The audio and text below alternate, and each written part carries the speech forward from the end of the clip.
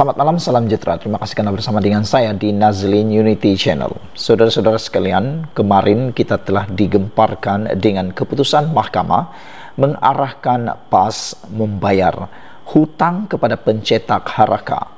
Akhirnya hari ini tampil lagi satu berita berkaitan dengan hutang daripada PAS tersebut. Kata pencetak harakah yang telah pun rugi itu, beliau kata, Tuhan ampun semua dosa kecuali hutang. Pencetak harakah kongsi ucapan hadi. Wah, ini menarik saudara-saudara sekalian. Bayangkan ucapan hadi pernah mengatakan bahawa Tuhan ampun semua dosa kecuali hutang. Pencetak harakah kongsi ucapan hadi.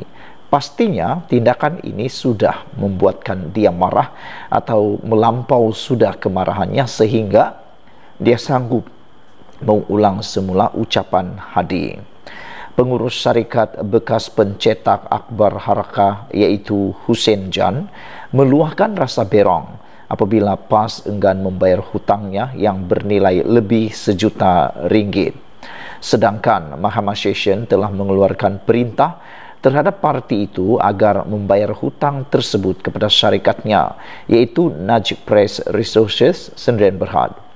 Menerusi satu hantaran di akaun Facebook miliknya, Husin Jan memuat naik satu video yang merakamkan ceramah oleh Presiden PAS iaitu Tan Sri Abdul Hadi Awang. Cakap tidak serupa bikin. Abdul Hadi dalam ceramah tersebut memberi penegasan kepada pendengarnya mengenai kewajipan umat Islam dalam pembayaran hutang. Abdul Hadi turut memetik hadis riwayat Ibnu Umar yang menyatakan bahawa Rasulullah pernah bersabda, Allah mengampunkan semua dosa bagi mereka yang sahid kecuali hutang. Pas dakwah partinya adalah parti Islam, tetapi tak mahu ikut ajaran Islam. Masuk mahkamah sekuler kalah, hakim suruh bayar hutang. Pas nak bawa pula ke mahkamah tinggi untuk buat rayuan. Kesimpulannya, PAS bukanlah parti Islam, hanya guna Islam untuk mengelirukan umatnya, berselindung di sebalik nama Islam supaya orang Melayu terus sokong mereka dalam politik. Macam mana pemimpin PAS nak jadi Perdana Menteri dan selesaikan hutang negara? Jika hutang parti sendiri pun tak mahu bayar, tulis Hussein Jan di ruangan caption video berkenan. Terdahulu, Mahkamah Session hari ini yang telah memerintahkan PAS untuk membayar hutang sebanyak RM 656,233 ringgit dan 69 sen kepada bekas pencetak haraka Naj Press Resources Malaysia dan Berhad. Hakim Lailatul Zuraida Harun alias Harun mengeluarkan perintah selepas membenarkan permohonan Naj Press selaku planatif untuk mendapatkan penghakiman terus dalam tuntutan samannya terhadap PAS. Naj Press dalam saman itu turut menamakan Datuk Seri Taqiyuddin Hassan selaku Setiausaha Agung PAS dan penerbit Akbar Haraka Galeri Media Serba Nikah Berhad sebagai defendant kedua dan defendant yang ketiga. Susulan itu, peguam mewakili defendant iaitu Muhammad Faizi Che Abu berkata, pihaknya telah merancang untuk merayu ke Mahkamah Tinggi terhadap keputusan hari ini. Muhammad Faizi mewakili PAS juga bakal memfailkan permohonan bagi menangguhkan keputusan tersebut sementara menunggu penyelesaian rayuan ke Mahkamah Tinggi. Sekian dulu untuk kali ini. Jangan lupa tinggalkan komen anda, tekan butang subscribe. Kita jumpa lagi. Bye-bye. Selamat pagi, salam sejahtera. Terima kasih kerana bersama dengan saya di Nazlin Unity Channel. Cubaan Muhyiddin tentukan calon Perdana Menteri undang rasa tidak senang di kalangan pemimpin PAS. Saudara-saudara sekalian, kenyataan dibuat Muhyiddin Yassin bahawa Ahmad Samsuri Mukhtar sebagai calon Perdana Menteri Perikatan Nasional hanyalah sekadar cara pembangkang mahu melihat sokongan pengundi semasa pilihan raya PRK di Kemaman.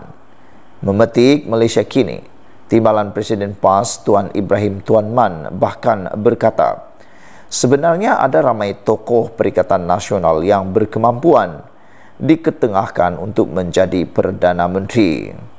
Perkara itu kata Ahmad uh, kata beliau iaitu Ahmad Samsuri sebagai calon Perdana Menteri disebut Muhyiddin dalam kempen itu hasrat dia untuk melihat sokongan kepada Perikatan Nasional sajalah kata Tuan Ibrahim Tuan Mat.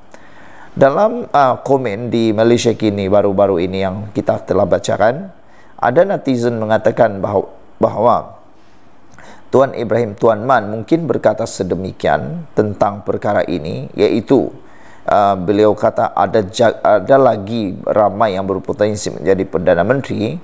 Netizen melihat itu sebagai satu perkara yang logik. Kerana Tuan Ibrahim Tuan Man ialah timbalan Presiden PAS manakala uh, Ahmad Samsuri bukanlah timbalan jadi kalau ikut hierarki yang sepatutnya menjadi Perdana Menteri bukanlah Ahmad Samsuri tetapi Tuan Ibrahim Tuan Man. Jadi netizen kata, oh mungkin, mungkin uh, Tuan Ibrahim Tuan Man mengatakan perkara ini, iaitu ada lagi lain yang boleh menjadi Perdana Menteri, mungkin merujuk kepada dirinya, kata mereka. Ataupun memang ada lagi yang lain yang pada pendapat Tuan Ibrahim Tuan Man lebih layak daripada Ahmad Samsuri.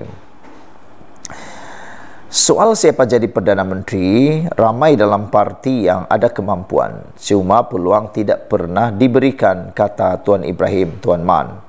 Muhyiddin dalam sidang media pada 27 November lalu tidak menafikan pencalonan Ahmad Samsuri dalam PRK Kemaman adalah langkah Perikatan Nasional mengetengahkan Menteri Besar Terbabit sebagai calon Perdana Menteri masa depan. Kata Presiden Bersatu itu, ia adalah langkah strategik gabungan terbabit.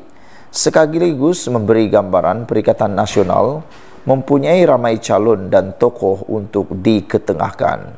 Kata Tuan Ibrahim, PAS memiliki ramai profesional, golongan profesional dan mempunyai kepakaran tertentu yang boleh diketengahkan sebagai pemimpin negara. Siapa tak kenal Sanusi Maknor sebelum ini? Siapa kenal Samsuri sebelum ini? Tidak ramai yang kenal sebab mereka tidak diberi peluang, kata beliau. Pas ada ramai lagi pemimpin yang hebat dan belum diberi peluang untuk menunjukkan kebolehan mereka. Dulu orang tengok PAS sebagai parti yang dianggotai ustaz saja. Sekarang dah ramai profesional bersama kita, kata beliau lagi. Saudara-saudara sekalian, katanya juga adun PN itu tersebut dijelaskan berkali-kali oleh Wan Rosdi dalam uh, Kerajaan Pahang. Sekian dulu untuk kali ini. Jangan lupa tinggalkan komen anda, tekan butang subscribe. Malaysia kita punya, kita juga sama-sama cintai Malaysiaku. Kita jumpa lagi. Bye-bye.